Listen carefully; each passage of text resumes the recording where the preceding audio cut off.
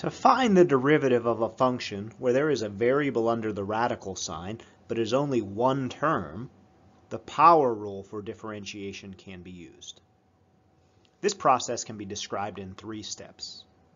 First, you should rewrite the function in an equivalent form so that instead of the variable being under a radical sign, it's written as the base of an exponent.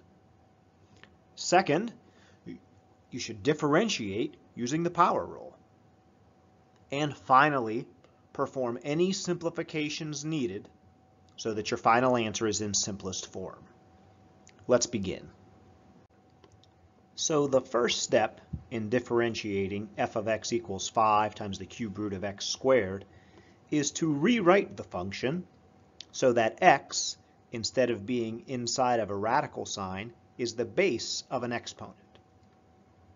Recall from algebra that the nth root of any variable to the m power is equivalent to that variable, in this case a, to the power of a fractional exponent.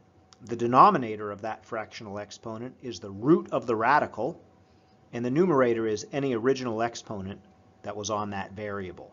The nth root of a to the m is equivalent to a to the power of m over n. In this case, we have the cube root of x squared. That's equivalent to a base of x in a power where the exponent has a denominator of the root of the radical, 3, and a numerator of 2.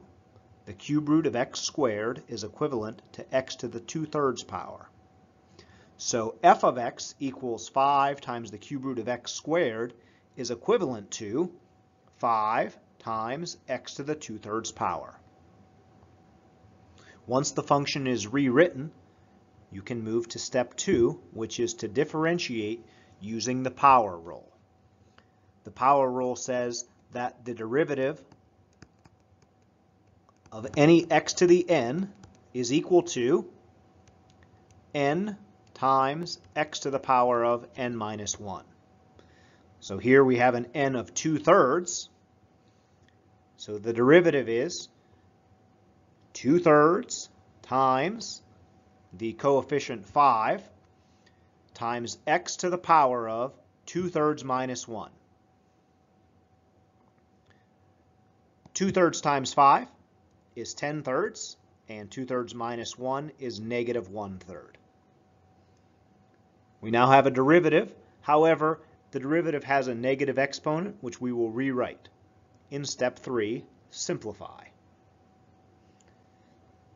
A negative exponent we'll move the factor of x to the denominator of a fraction.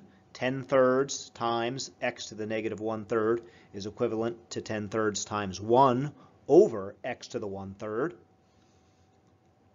These two factors can be combined and it's simpler to write them as a single fraction, 10 over 3x to the 1 third.